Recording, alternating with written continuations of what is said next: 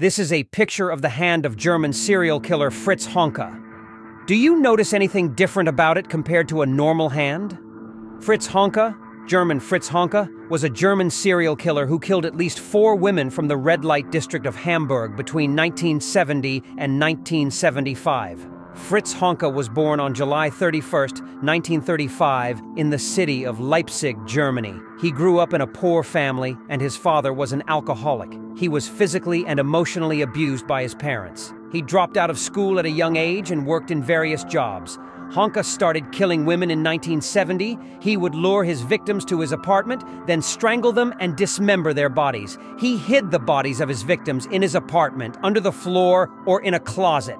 In 1975, a fire broke out in Honka's apartment, which led to the discovery of the bodies of his victims. Honka was arrested in 1975. He confessed to killing four women. In 19